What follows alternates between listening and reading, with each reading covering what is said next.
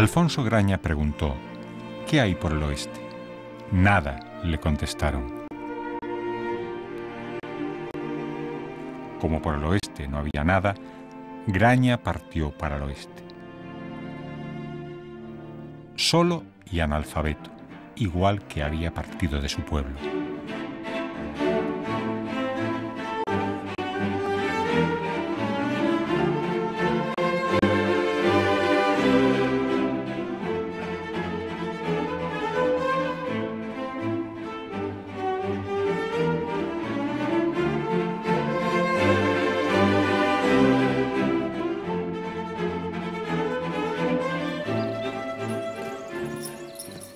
La vida de Alfonso Graña ha estado casi 70 años perdida en la letra pequeña de la historia, reducida a alguna que otra reseña enciclopédica y a los artículos que Víctor de la Serna publicó antes de la Guerra Civil Española. Maximino Fernández Sendín, su último biógrafo, ha rescatado el personaje y ha documentado una de las más apasionantes peripecias de la emigración gallega. Alfonso Graña es un joven campesino de la provincia de Orense en el Concello de Avión, por aquel entonces una de las zonas más pobres y agrestes, que a finales del siglo XIX, como otros muchos también de Galicia, emigra a Brasil.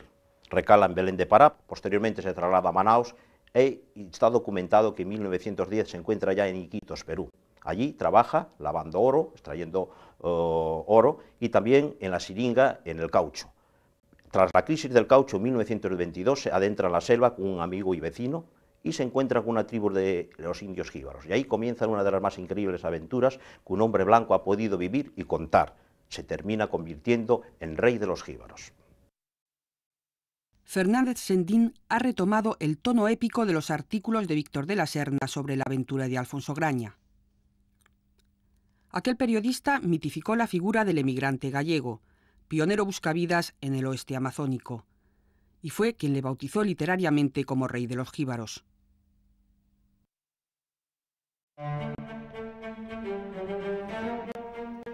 La información sobre la vida de Graña se difundió en la prensa española gracias a otro intrépido personaje, el capitán de aviación Francisco Iglesias Braje. Este militar gallego, muy popular en los años 30 por sus hazañas aeronáuticas, impulsó el proyecto científico más importante de la República, la expedición Iglesias al Amazonas. Entre sus colaboradores hubo uno introducido en el corazón mismo del territorio que iba a explorar, Alfonso Graña. Graña es la persona que conoce el sitio, que conoce el interior, que conoce los indios, que le pone en contacto con la realidad, que él eh, conoce y explota, él vive en ese contexto, es un aventurero. Aquí tengo a mi lado a nuestro amigo Alfonso Graña, natural de avión, que reside desde el 22 en el río Santiago. En el puerto peruano de Iquitos, un cronista genial entrevistó a Alfonso Graña cada vez que éste abandonaba la selva. Transcribió esas conversaciones en cartas y junto a otros muchos datos sobre el Amazonas los envió a la expedición Iglesias en Madrid. También era gallego y se llamó Cesario Mosquera. En Iquitos tenía una librería en el Girón Próspero y donde se reunían muchas veces eh, unos artistas, eh, literatos y escritores, poetas locales y que efectivamente tenía, por supuesto, relaciones con Alfonso Graña, ¿no? que era un personaje pues un poco inhabitual, ¿no? y tenía relación eh, efectivamente con Graña, pero también con el proyecto de la expedición Iglesias, que nunca se llevó a cabo, pero que tenía efectivamente que eh, hacer un, viaje, digamos, importante eh, sobre el Amazonas, desde la cabecera pues hasta la desembocadura. Mosquera fue un republicano convencido, un hombre que creía en el progreso y que nunca, como demuestran sus cartas, olvidó el retraso secular del pueblo donde nació, Rivadavia, en la provincia de Orense, muy cerca del lugar donde por esos mismos años vio la luz Alfonso Graña. Que vaya, que vaya la misión pedagógica a mi pueblo, a los pueblos negros de humo de toda Galicia. Que entren a las casucas de piedra sin picar, donde sale humo de cada teja. Al entrar al dormitorio y la cocina, verán lastimero atraso. La pared al pie de la cama, cuajada de esputos secos. Las ropas de aquellas camas y los jergones, todo podredumbre. Camas donde duermen cuatro o cinco chicos y la mitad se orinan.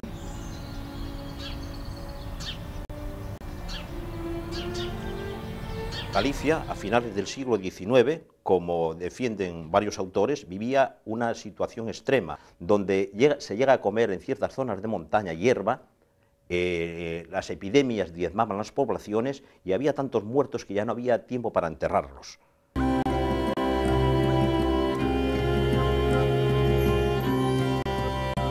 La economía gallega en la segunda mitad del siglo XIX estaba en un callejón sin salida. Para los campesinos, por entonces el 85% de la población, el futuro no existía en su tierra. El modelo productivo basado en el maíz y la patata estaba agotado. Las técnicas agrarias estancadas en la época de los romanos. El minifundio no daba para vivir y la industria era un espejismo. De oro de Buenos Aires, norte de todas las esperanzas, arrancaba a los pueblos de Europa sus mejores hombres. Traían salud, fuerzas, sueños, esperanzas, energías. Entre 1880 y 1930, en 50 años, medio millón de gallegos cruzó el Atlántico. El efecto llamada se alimentaba en cada fiesta patronal de las aldeas, en la opulencia de los retornados y en las noticias procedentes de ultramar la situación en Galicia era trágica, pero no más que en otras partes de España. Entonces cabe preguntarse, ¿por qué emigra el gallego y no emigra el extremeño? ¿Por qué emigra el de Lugo y no emigra el de Albacete? No es porque tenga más espíritu aventurero, ni porque sea más atrevido, ni porque tenga ningún tipo de vocación especial de salir del país, sino simplemente porque puede. Es decir, para emigrar hay que ser pobre pero no miserable que era un pequeño propietario. Aunque fuera propietario de, casi nada, pero era propietario de algo. Tenía una vaca, tenía una casa, tenía un barco, tenía algo que podía pignorar, podía empeñar y con eso conseguir el dinero o tenerlo como garantía para poder viajar, comprarse el billete y poder viajar. Alfonso Graña nació en 1878. La emigración a América dejaba sin hombres jóvenes las aldeas de Galicia hijo de padre sastre y de madre labradora, según figura en su partida de nacimiento. Superviviente junto a dos hermanas en una familia castigada por las epidemias. Gracias a un documento enviado por el viceconsulado de Iquitos, se ha sabido el lugar exacto de su nacimiento, Amiudal, una de las nueve parroquias del Concello de Avión, en Orense.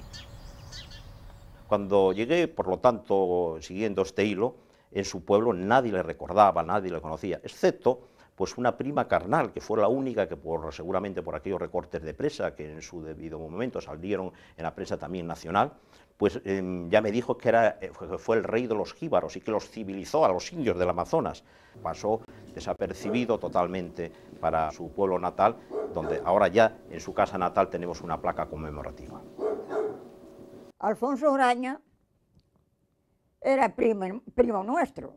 Yo, como era, como era, no se lo puedo decir, porque yo no me acuerdo de él para nada. La que me contaba mi mamá es lo que sé, que era un hombre fuerte y que se dirigió a las Amazonas para dominar aquella nación que no estaba dominada. Acabó siendo rey de las Amazonas, pero para dominar a aquella gente, viría la muerte a los ojos muchas veces porque era de suponer, era de suponer. ¿Piensa usted que había muchos peligros o que pasaría Alfonso muchos peligros?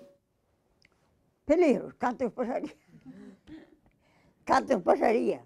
Pero ¿quién le podía valer? Las familias estaban por aquí, allá iba el sol. ¿Era un aventurero? Sí, un poco, un poco. Un poco aventurero. Bastante fuerte y destinado a salir por el mundo.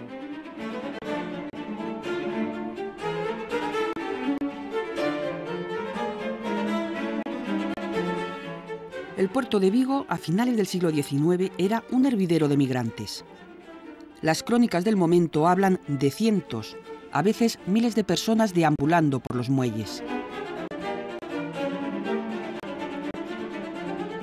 En un solo día se llegaban a despachar hasta seis vapores transatlánticos a tierras americanas. Son países inmensos, con poca población y entonces necesitan mano de obra barata y preferían mano de obra europea. Después, claro, funcionan mucho las cadenas familiares y, los ganchos, la figura de los ganchos que promovían mucho la emigración, iban por los pueblos, eh, haciendo, dando a conocer las ofertas, vendiendo la idea de América como el país de donde iban a triunfar, donde iban a enriquecerse y regresar con toda clase de riquezas. El precio de un pasaje en tercera, la clase más barata, era tan alto que muchos gallegos se acogieron al sistema de billete pagado por los gobiernos americanos. El primer destino de Alfonso Graña fue Brasil. El viaje costaba 215 pesetas. Alfonso Graña, como otros muchos de la zona, pues embarca en dirección a Brasil, recala en Belén de Pará, de allí se traslada a Manaus. Manaus en ese momento eh, estaba viviendo la fiebre del caucho en miles de personas de toda Europa y de otros países, incluso de otros continentes, se concentraron en Manaus.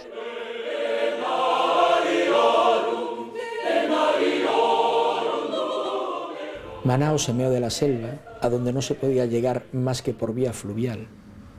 Tenía un teatro de la ópera impresionante, lo tiene, el Teatro Amazonas, donde en su momento cantó Caruso o actuó Sara Bernard. Eh, no le digo más que si uno salía a las afueras del pueblo, que era más un pueblo que una ciudad, corría grave riesgo de morir bajo las flechas de los indios. Estamos hablando de lo que ocurría a 500 metros del teatro. Pero en donde se daban lujos que hoy resultaría casi risibles, aparte de increíbles. Toda la semana salía de Manaos un buque con destino a Lisboa cargado de ropa sucia para que en Lisboa la lalvaran, la plancharan y la almidonaran. El negocio del caucho era a comienzos del siglo XX la forma más rápida y peligrosa de hacer dinero. La industria mundial había descubierto el látex y necesitaba hombres dispuestos a sangrar el árbol de la siringa en los bosques amazónicos.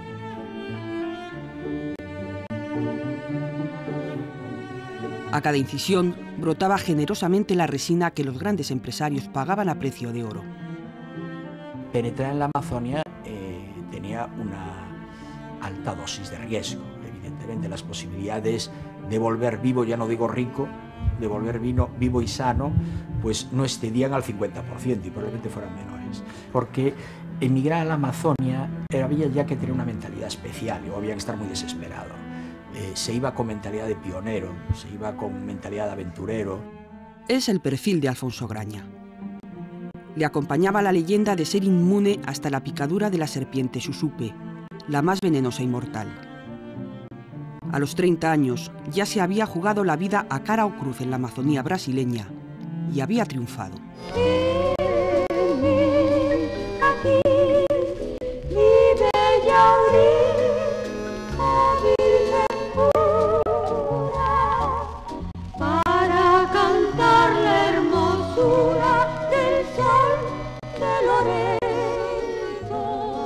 La capital del departamento de Loreto mantiene el carácter que le imprimieron hace un siglo los magnates del caucho. La promesa del dinero fácil atrajo a agentes de procedencias tan distintas que Iquitos llegó a tener hasta nueve consulados, entre ellos el de España. En aquel tiempo llegaron un montón de gente. Una gran cantidad de esta población llegó de la selva alta, además de Cajamarca y de Amazonas, otra cantidad de gente vino de España y después parte de eso los judíos, los orientales, portugueses. Ahí es donde llega Graña. Han pasado 100 años, pero ahí siguen edificios como el de la Sociedad Española de Beneficencia, articulada para ayudar a los pocos emigrados que llegaban a Perú. O el Hotel Palace, símbolo de la opulencia cauchera. Sus enrejados fueron traídos desde Hamburgo, los mármoles de Carrara, los mosaicos de Sevilla.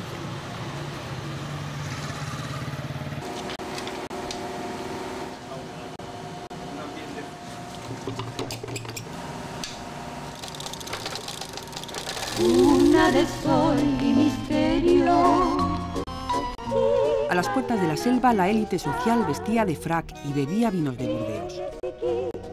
Las damas paseaban el malecón y los barcos traían músicas que llenaban de nostalgia los días del trópico. Por tus calles populosas y tu bello malecón.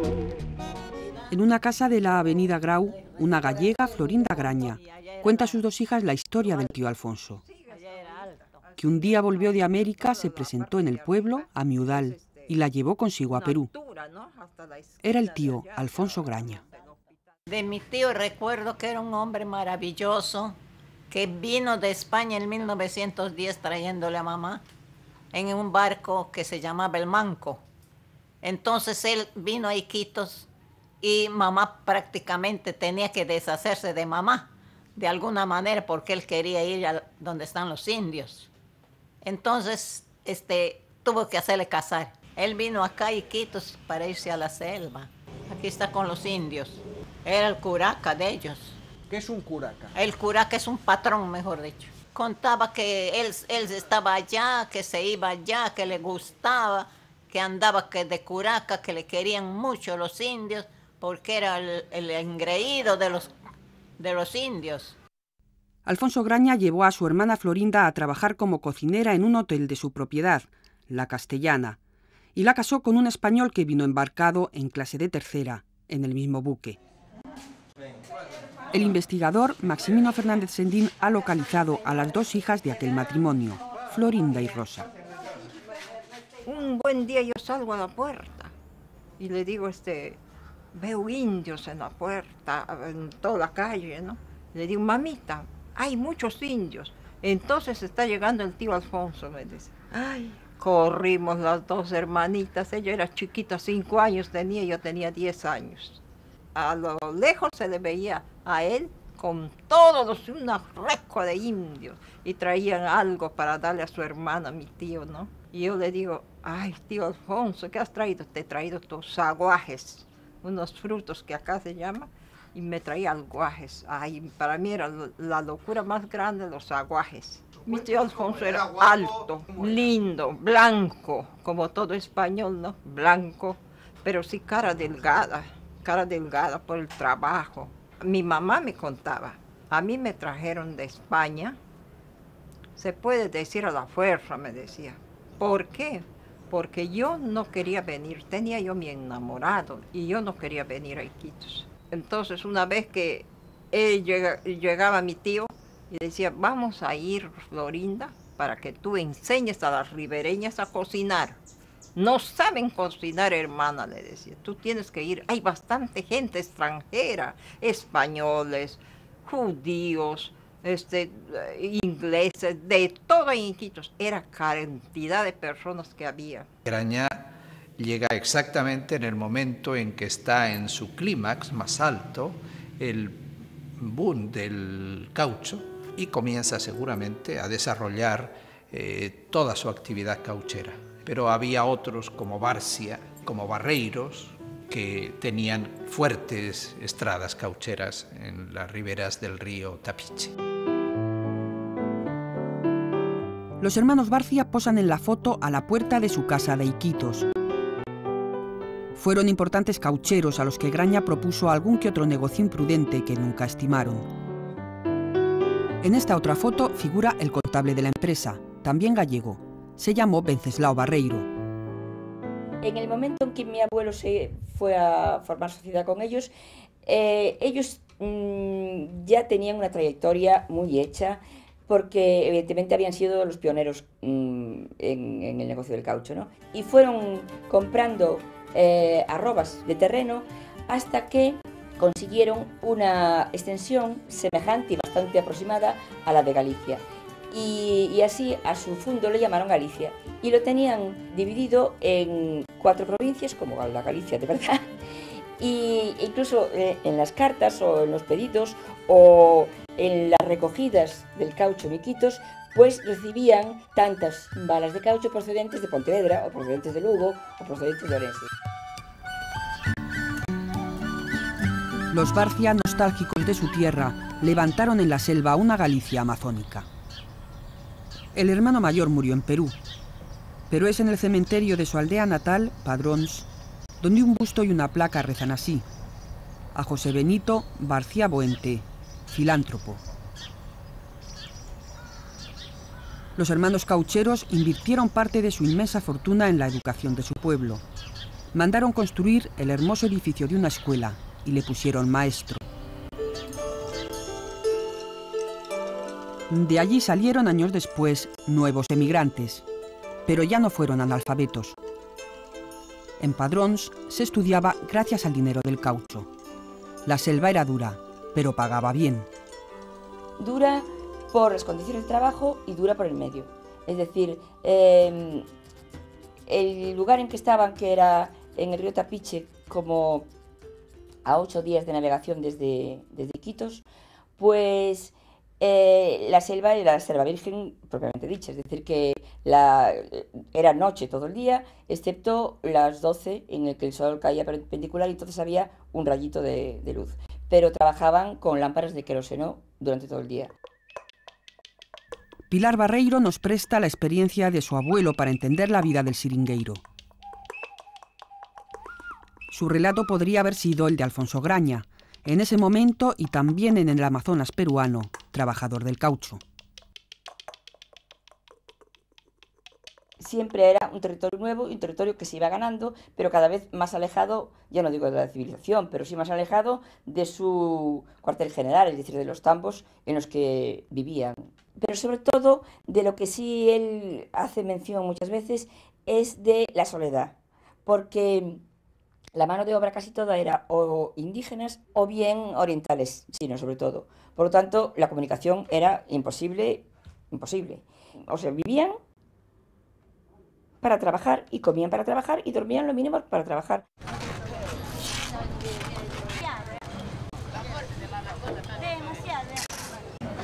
Pues hubo una minoría, como siempre hay, de triunfadores y una gran mayoría de derrotados. Y dentro de esa gran mayoría de derrotados, muchísimos que no lo contaron. La migración a la Amazonia fue muy trágica. Probablemente sea la más trágica de todas las emigraciones en América. Iquitos, como antes le había sucedido a Manaos, vivió una quimera. En 1922 el sector del caucho ya estaba en crisis. Las semillas que los ingleses habían sacado ilegalmente del Amazonas estaban produciendo látex más barato en las plantaciones de las colonias. Fuera por esta razón o porque en Iquitos, como en tantas otras ciudades del oeste, las fortunas se hacían a sangre y pólvora. Lo cierto es que un día del año 22, Alfonso Graña desapareció río arriba, camino de la selva. Alfonso Graña vivió durante 12 años reinando, en palabras de Víctor de la Serna, sobre un área tan extensa como media España, que abarcaba las cuencas de los ríos Nieva, Santiago y Pastaza, en el Alto Marañón.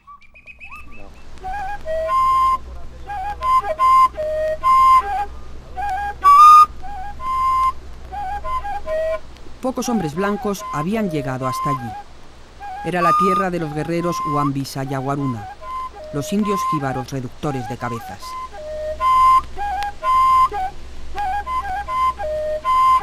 Los jíbaros es un pueblo eh, imbatible. Tanto es así que allí jamás penetró eh, la fuerza de ninguna ley evangélica, de ninguna ley eh, ni divina ni humana. De manera que son gente muy fiera. Quienes les han hecho más famosos son los que han relatado cómo es la sansa. La sansa es un ritual de reducción de la cabeza en el cual posiblemente estuviera involucrado también Graña, donde a las gentes no enemigas, sino a las gentes también de dentro les van reduciendo la cabeza para que sea como un tabú, que sea como alguien cuya fuerza les transmite.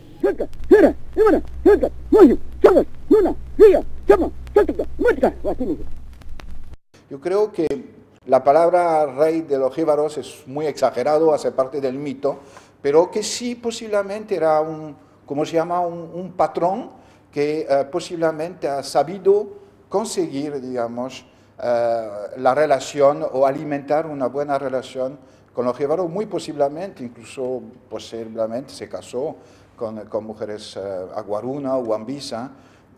Entonces ha tenido seguramente este papel un poco de intermediario hábil, ¿no? Y se sabe que muchas veces regresaba a Iquitos para precisamente intercambiar, negociar productos de la selva y que eso a los jíbaros le, interesaba mucho, ya que siempre ha sido pues una, una fascinación pues para, para, para ellos. En el puerto de Belén, una balsa atracó. El puerto sigue siendo el mismo exótico escenario, en el que Alfonso Graña aparecía dos veces al año con sus balsas cargadas de todo tipo de mercancías procedentes de la selva y de las chacras, las granjas trabajadas por indígenas que tenía en el interior. Alfonso Graña traficaba, podemos decir, con muchas mercancías, algunas incluso prohibidas en aquel momento. La sal era monopolio del Estado. También incluso él admite que vendía tortugas en época de desove. E incluso tiene un proceso que luego se archivó por lo visto por vender cabezas reducidas. Debe ser que no hubo las pruebas suficientes, pero bueno, es una de las prácticas que, hicieron muchas otras personas, que vendía y comerciaba con, con todo tipo de mercancías, como él dice, de la selva. En la librería Amigos del País, Cesario Mosquera toma nota de cuanto acontece. Es el colaborador más apasionado y eficaz de la expedición Iglesias al Amazonas, que ya se está preparando en Madrid. Al doctor Marañón, miembro del patronato, le envía con fina ironía gallega estas fotos, con su anotación correspondiente. Los médicos de la región del Alto Marañón, si no salvan a sus enfermos, les cortan la cabeza. Uno de los indios tiene en la diestra la cabeza de una curandera que erró en el tratamiento. Es fama que si no salvan al paciente, les cortan la huella.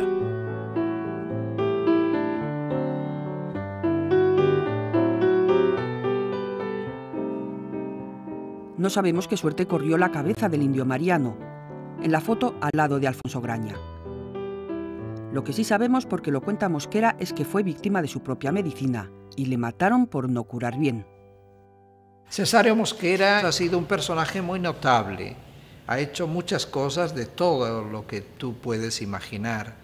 Ha sido barbero, ha sido librero, ha sido cineasta, ha sido incluso en el servicio local ha sido concejal. El local de la librería Amigos del País estuvo y está en la calle del Próspero y sigue siendo propiedad de la familia Mosquera, aunque ha cambiado de nombre. Ahora se llama Librería Tamara y la gestionan otros empresarios. Todavía encuentro gentes que eh, reclaman nostálgicamente la presencia de la librería Mosquera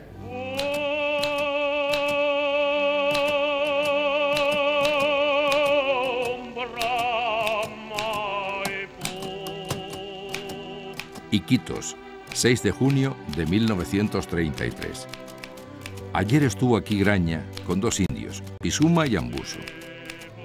Al hacerles oír la radio se han desorientado, como si fuéramos meigas y meigos.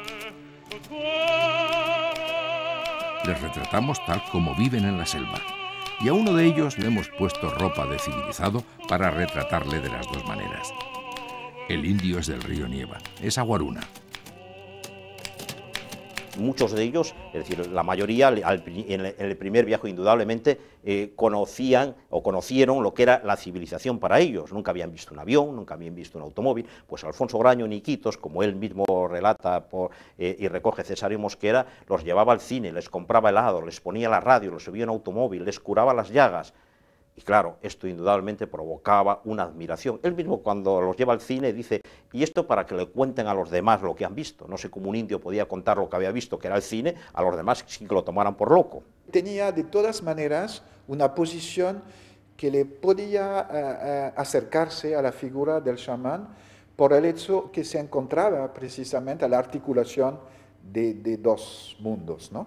En los ojos de la gente de Iquitos parecía también como un, tipo de brujo porque andaba con, eh, indígenas de la selva y de punto de vista jíbaro también porque eh, tenía esta relación muy especial con la gente de la ciudad, entonces era un personaje perfecto. Pues, ¿no? Cuando él venía, nos enseñaba fotos con los reverendos padres, que muchos llegaban donde él, los quería mucho, los atendía. Y sus indios, no le faltaban alrededor muchos indios. En el Alto Nieva puso su ganadería, una hacienda linda que tenía ganados, animales, de todos. Una zona estratégica porque podemos decir que estaba en el corazón de la selva y todo aquel que eh, deseara adentrarse para alguna misión, como pueden ser las expediciones tanto científicas como comerciales, que está documentado, guía a Alfonso Graña por la selva, tenían que de alguna forma eh, consultar, pedir permiso para adentrarse en la selva sin los peligros de ser atacados por los temibles indios jíbaros. En las cartas enviadas a la expedición Iglesias, Graña confirma que vive en el río Santiago desde 1922. Se autodefine como patrón con Indiada sus órdenes y asegura que ha dado a conocer a la compañía americana Standard Oil todas las vetas de petróleo. El gerente de la compañía, Dr. Basler, a la derecha de Alfonso Graña, fue su amigo y un notable científico que mandó fotografiar y filmar las costumbres indígenas.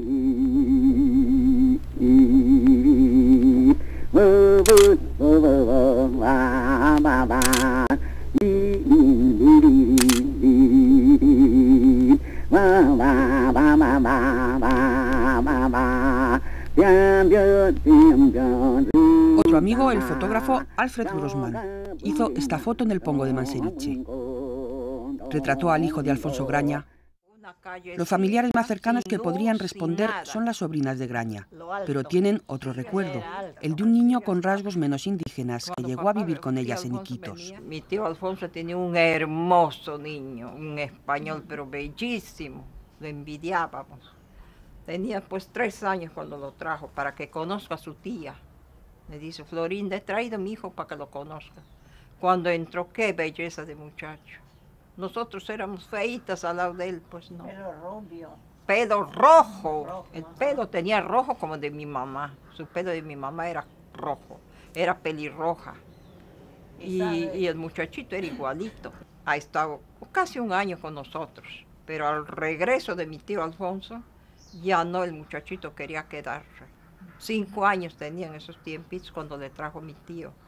Yo decía, ¿cómo se llama este tío Alfonso? Como yo me decía Alfonsito. Alfonso era también el nombre del niño que a veces hacía de intérprete en las entrevistas que Mosquera y sus hijas hacían a los indios de Graña. El ahijadito, como le llamaban, hablaba la lengua jíbara y una mezcla entre castellano y gallego. Su relación con Graña es otra incógnita por resolver. Alfonso Graña, según mm, la hipótesis en principio del libro eh, y lo que se conocía, mm, tenía una mujer jíbara. Eh, aparece una foto entre la documentación relacionada con Alfonso Graña de una india jíbara que dice en el reverso, eh, hija del rey jíbaro Sumarín III, rey de los Huambisa. Es decir, que pensamos que pudiera tratarse de la mujer de Alfonso Graña. Yo creo que eso, claro, hace parte del mito, no hay princesa allá, sino que hay la figura del hombre con posiblemente dos o tres mujeres, ¿no? No es el punto de vista de los indígenas, Ahí estamos en el punto de vista exterior de nosotros, ¿no? Rey de los jíbaros, princesas, son cosas que los jíbaros creo que no, no tienen mucho, Hombre fuerte, sí, hombre eminente, hombre fuerte, gran guerrero, todo eso sí. La exploración científica al Amazonas fue el sueño cultural de la República. El gobierno quería hacer una demostración de potencial investigador. Esta colección, que se conserva en el Museo Antropológico de Madrid, es parte de ese sueño. Objetos traídos a España desde la selva por el promotor del proyecto, un capitán de aviación, Francisco Iglesias Braje, que pocos años antes había alcanzado fama mundial.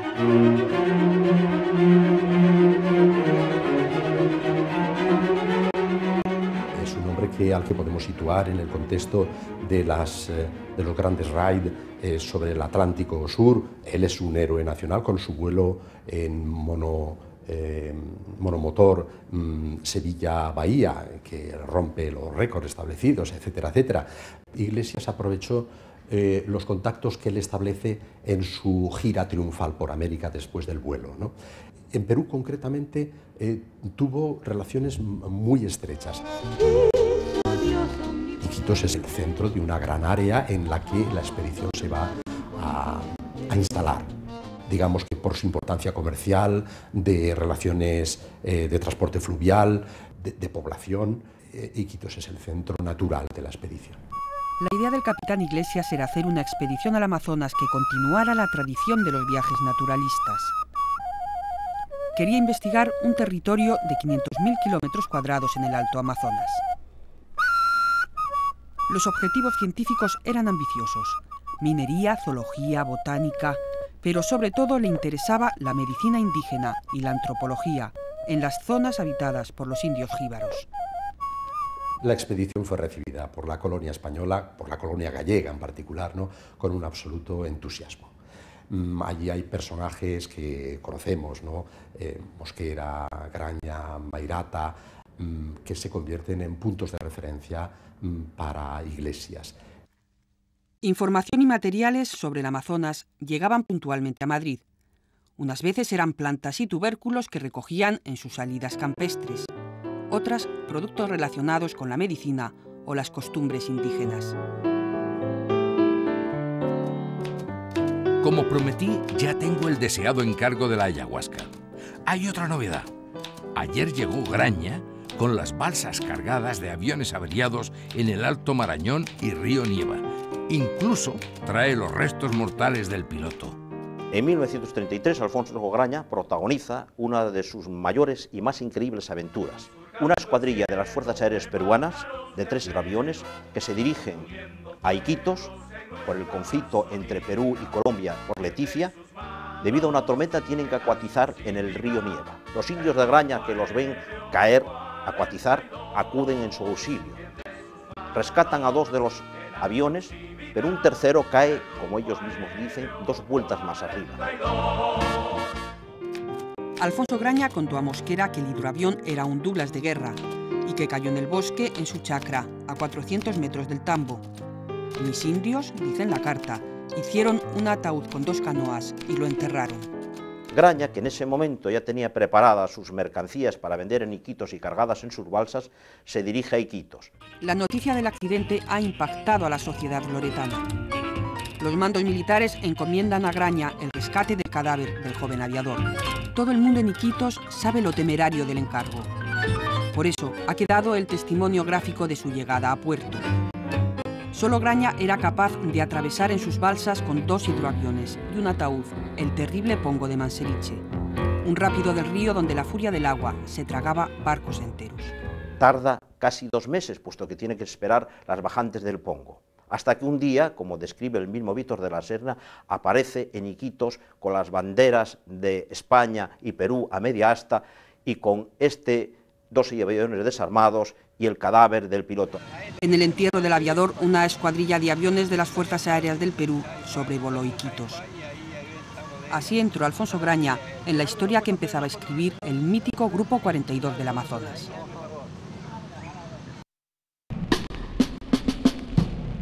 Poco después de este episodio, los acontecimientos dieron un giro inesperado. El capitán Iglesias Braje llegó a Iquitos como comisionado de la Sociedad de Naciones para el Conflicto Territorial de Leticia, que enfrentaba a Colombia y Perú. Fue la primera y la última vez que vio a sus colaboradores gallegos en la Amazonía peruana. La expedición Iglesias siguió la misma suerte que la República Española y acabaron con ella nada más nacer tensiones con los militares, tensiones con el patronato, tensiones con los científicos, mm, tensiones con los propios expedicionarios que veían que aquello no acababa de arrancar y que todos estaban preparados y listos y tal. Mm, y finalmente crisis económica, crisis política crisis institucional. Y entonces se vino abajo todo.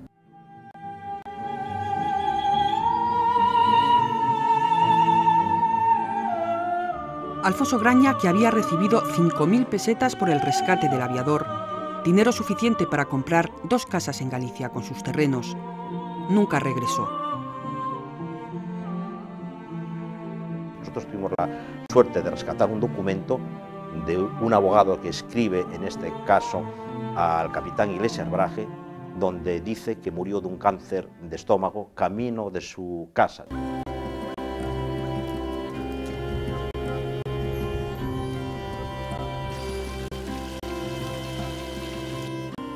Vi en la gran enciclopedia gallega, que es una gran enciclopedia realmente, Alfonso Graña.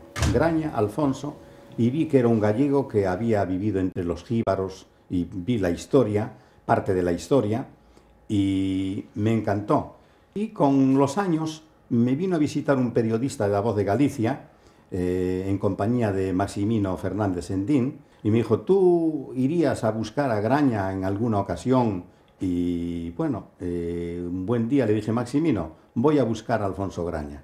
Desde Iquitos eh, mm, pensaba tomar, coger el río Marañón, que es lo que hacía Graña realmente en sus recorridos, eh, y eh, acometer el Pongo de Manseriche. Sin un medio de transporte fiable y sin información sobre cómo bajaban las aguas en el Pongo del Manseriche, Antonio Abreu decide viajar en avión a la precordillera y abordar el río desde allí. Cerca del Pongo de Manseriche me encontré a los Aguaruna por primera vez. Todos ellos recordaban a Alfonso Graña. Decían que había dominado toda aquella zona, que comerciaba, que era realmente mm, el jefe de, de- de todo, de toda aquella zona, pero hasta arriba, hasta Ecuador. Y seguí por el río hasta un lugar que se llamaba Galilea, y allí me encontré a Alfonso Graña. Antonio, Alfonso Graña. Yo soy de España. De España, ¿no? Sí. Yo soy indígena. Usted es indígena, ya, Sí. ya. Es Guambisa. Sí, Guambisa. Sí. Este, eh, a mí me pidió un amigo que viniera a visitarle. Sí. Claro, pensando que si es eh, descendiente de Alfonso Graña, Ah, ya, ya, ya. el gallego. Este, estaba, no, no estaba, por el apellido, ¿no? Ese es ah, mi apellido que me pusieron. Pero soy indígena legítimo. Es indígena legítimo, sí. Sí. A él parece ser que lo capturaron el ejército para que fuera al ejército, para que fuera a la guerra. Y le preguntaron, ¿cómo te llamas? Y él dijo, eh, me llamo Quininte. Y dijeron, pero tú tienes que tener un nombre porque ahora estás en el ejército y tienes que tener apellidos. Ustedes verán. Entonces le dijeron, ¿y por qué no te pones el nombre eh, de aquel que, que reinó por todas estas tierras, que se llamó Alfonso Graña? Y yo dije, me dijo él, para mí sería un honor llamarme Alfonso Graña.